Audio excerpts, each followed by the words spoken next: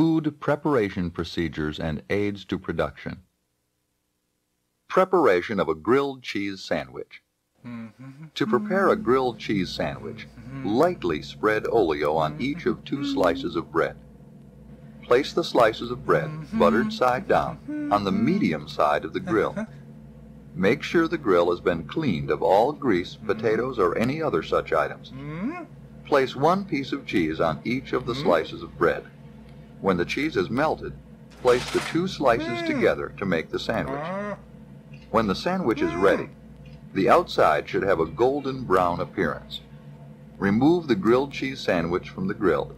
Cut diagonally with a butcher knife, not the spatula, and place the sandwich on a six and three quarter inch plate with two slices of pickle. Common faults in cooking grilled cheese sandwiches are too much or not enough oleo spread on the bread and undercooking. Mmm. Hmm, hmm.